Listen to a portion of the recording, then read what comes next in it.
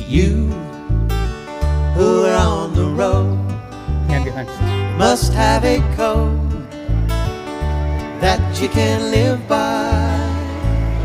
And so become yourself because the past is just a goodbye.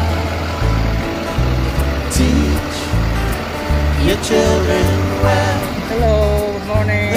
father's help Careful, did careful. slowly go by and feed them on your dreams.